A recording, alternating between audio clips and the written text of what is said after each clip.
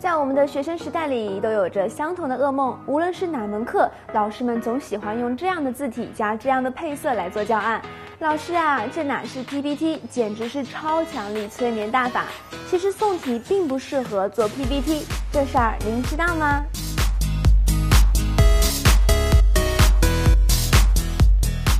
为什么说普及率能达到百分之百的宋体与 PPT 不合拍呢？其中的缘由就在于衬线字体与无衬线字体的区别。衬线字体是指设计上带艺术风格的字体，在笔画开始、结束以及转角时会增加这样的修饰效果，所以笔画的粗细也会有所不同。而宋体就是中文里衬线字体的代表性分类，在屏幕亮度比较高的情况下。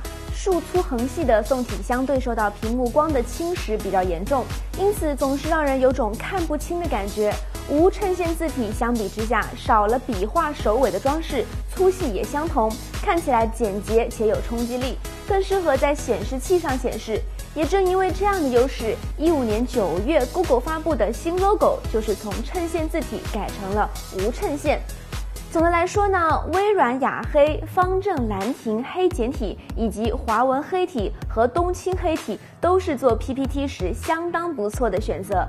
除了字体的风格之外，如何选择演示文稿上的字号也是很讲究的一门学问。如果是投影用的 PPT，每一张幻灯片里的字数越少越好，因此字体的最小字号不要少于二十八号，不然恐怕就变成视力测试了。那么，如果是阅读用的 PPT，比如我们考试前复习的教案，当然是每一页越详细，内容越多越好。不过最小也就到十点五号吧，不能再小了。还有的时候，一张张幻灯片里满满都是字，而没有图片，往往会让人失去了阅读的欲望。这个时候，我们可以把文字内容小小的切割一下，再按照纵向分布以及正方形分布的规律排列起来，看起来是不是就没有那么无聊了呢？